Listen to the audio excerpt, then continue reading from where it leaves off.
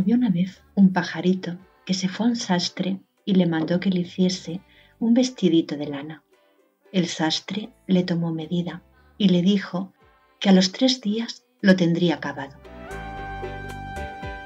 Fue enseguida a un sombrerero y le mandó hacer un sombrerito y sucedió lo mismo que con el sastre. Y por último fue a un zapatero y el zapatero le tomó medida y le dijo, como los otros, que volviese por ellos al tercer día.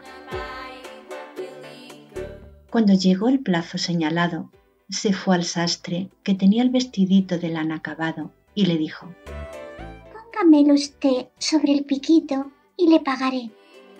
Así lo hizo el sastre, pero en lugar de pagarle, el picarillo se echó a volar. Y lo propio sucedió con el sombrerero y con el zapatero.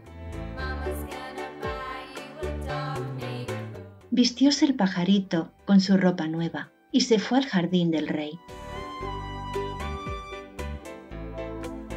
Se posó sobre un árbol que había delante del balcón del comedor y se puso a cantar mientras el rey comía. Más bonito estoy con mi vestidito de lana que en el rey con su manto de grana. Más bonito estoy con mi vestidito de lana que no el rey con su manto de grana. Y tanto cantó y recantó lo mismo que su real majestad se enfadó y mandó que lo cogiesen y se lo trajesen frito.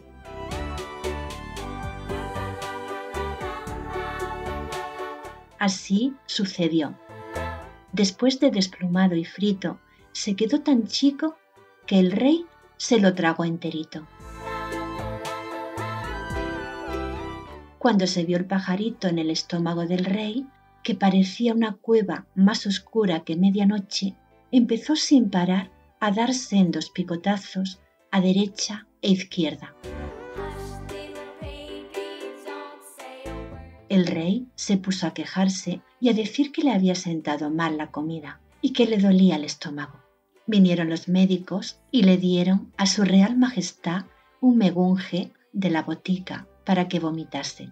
Y conforme empezó a vomitar, lo primero que salió fue el pajarito, que se voló más súbito que una exhalación. Fue y se zambulló en la fuente y enseguida se fue a una carpintería y se untó todo el cuerpo de cola. Fuese después a todos los pájaros y les contó lo que le había pasado y les pidió a cada uno una plumita y se la iban dando y como estaba untado de cola se le iban pegando. Como cada pluma era de su color, se quedó el pajarito más bonito que antes con tantos colores como un ramillete. Entonces se puso a dar volteos por el árbol que estaba delante del balcón del rey, cantando que se las pelaba. ¿A quién pasó lo que a mí en el rey me entré? Del rey me salí. El rey dijo, que cojan ese pícaro pajarito.